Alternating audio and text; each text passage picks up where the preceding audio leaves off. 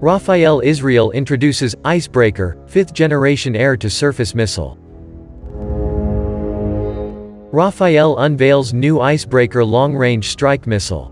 Quoted from the official website www.aerotime.aero. Rafael Advanced Defense Systems unveiled a new long-range strike missile called the Icebreaker.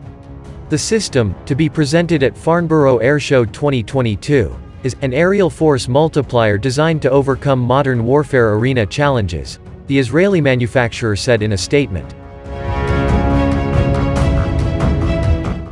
The fifth-generation air-breathing missile offers an operating range of up to 300 kilometers, 190 miles, against land and sea targets.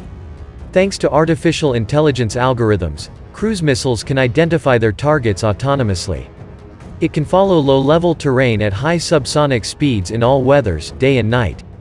Its passive stealth profile and capability to operate even in GNSS-denied spaces make it a perfect tool for penetration strikes in highly defended areas.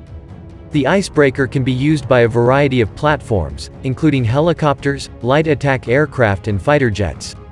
Rafael has already received interest from several potential customers, including in Europe.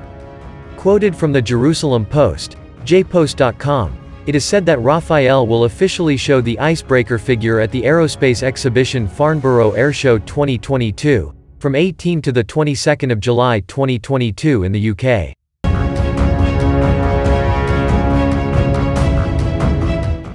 Rafael said this fifth-generation missile can be launched from a variety of aircraft and helicopters, such as Puma helicopters and Gripen fighter jets, FA-50, M346 and F-16.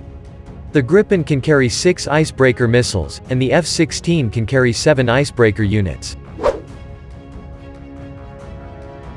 Thanks for watching my channel and subscribe to update new videos.